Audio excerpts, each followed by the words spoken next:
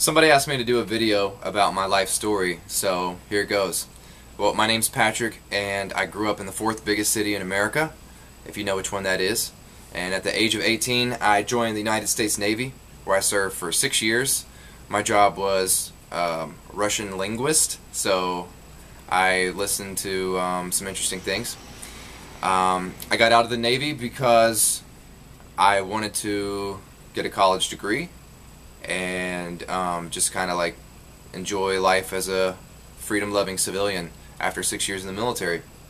I studied political science at the University of Houston, and after graduating, I um, studied music, and then I moved to Los Angeles, where I currently live and work.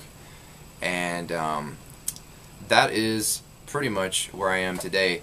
My aspirations are music and acting and I have been producing hip-hop music now for almost 10 years.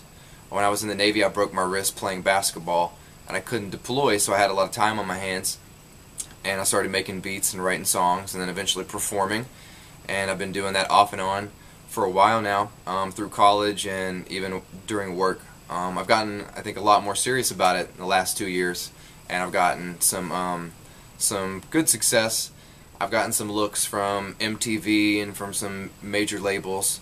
Uh, so I've gotten some placement in TV shows and also uh, placement of one of my songs on a compilation CD with Universal Music Group. So that was recent actually. So I'm um, still performing and writing songs and that's my big thing. Um, I like to work out. I like to eat healthy. I definitely learned the value of um, a healthy lifestyle once I had kind of a, um, a life-changing injury when I broke my wrist and it never quite healed.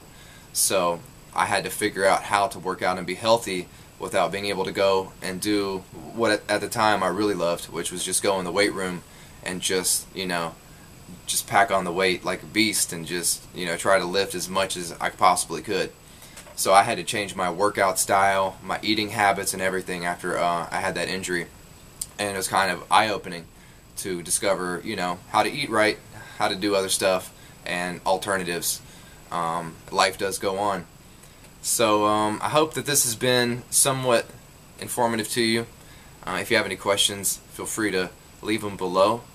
Um, but as always, you know, a story is always told better with song. So here it goes. This is a new one I'm writing.